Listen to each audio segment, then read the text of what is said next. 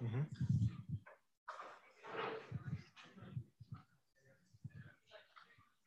Hi, everybody. Oh.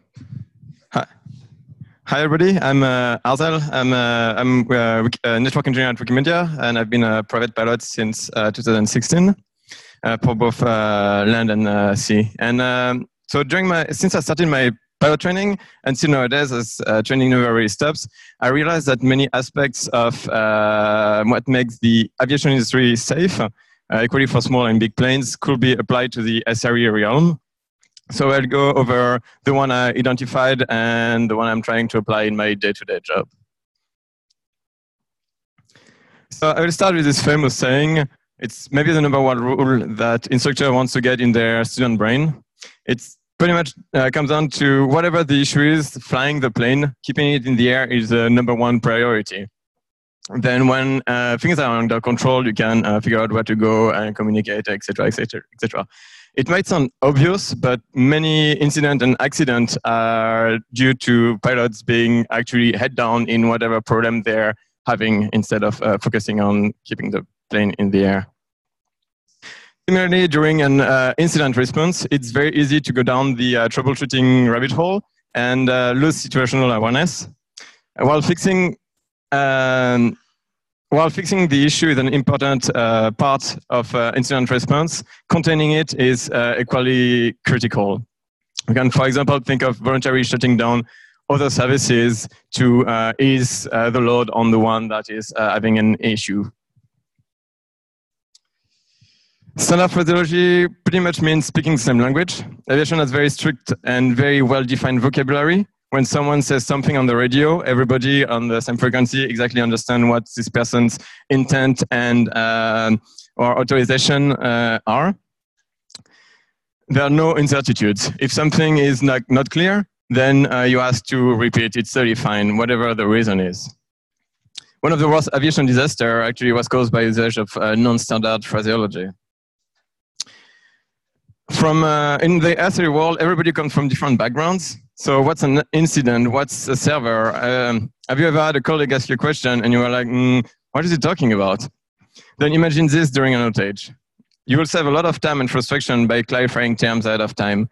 And if you're not sure, it's fine to ask. Don't assume. Lots of incidents started by someone assuming something that ended up being wrong.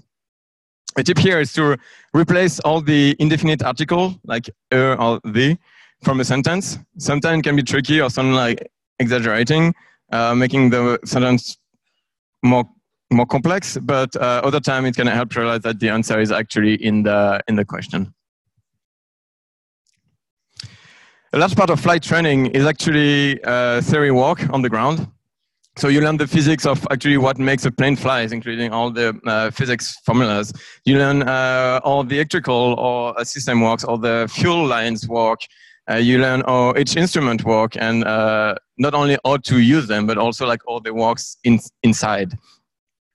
It's not for fun, even though it's very interesting, but it's, it's, it's made so if there is an issue, and you can already like start having guesses on what, what the cause and how to fix or mitigate it, if it's critical or not.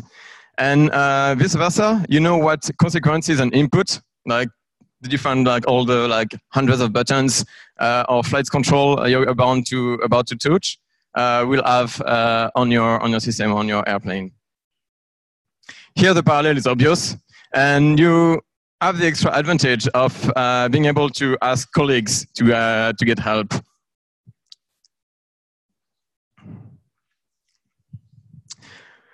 If you've ever list, listened to recordings of planes in emergency situation, you might have noticed that uh, pilots always have this calm voice, like you can uh, imagine the quotes uh, on the screen. But why? The main reason is uh, training, uh, training, training, training. Uh, you, we were trained for like every documented issue that, that could happen. So if it's happened in real, then you already know what to do instruments not working, easy. Like smoke in the cabin, engine failure, you know what to do. We already have a plan. We already like practice that with an instructor. It's uh, it's it's it's all good. And it, additionally, stress management is uh, part of the training. So we know how to detect uh, stress and how to uh, deal with it and how to react of, uh, during unexpected situations. And so first aid training also teaches uh, that when you arrive on an accident scene, uh, you first like make a pause, then uh, you observe, and then you act. Just rushing in and uh, without actually like thinking of what's going on, risk making the situation uh, way worse. So here uh, you can imagine like practicing fake incident response. Uh, don't let your uh, yourself or other uh, engineers uh, get rusty, even if you don't often have uh, outages. Uh, when working on an incident, document what is being done also helps getting clarity. And of course, you're in a team, so multiple multiple people working together can help relieve the, the stress. If there's a single improvement that led to considerably reducing uh, accidents, it's the use of uh, checklists. Startup, run up, pre-takeoff, takeoff, climb, cruise, descent, landing, securing, and of course, uh, for all the possible uh, emergency situation, everything uh, that is related to an uh, airplane as checklist. It reduces considerably the mental load of a task and it prevents forgetting one step that can be become critical during an emergency, for example, I don't want to have to rely on memory, even though memory helps to do something faster. You want to do something and you want to like check that you're doing the proper things and not uh, pushing the wrong buttons, uh, basically.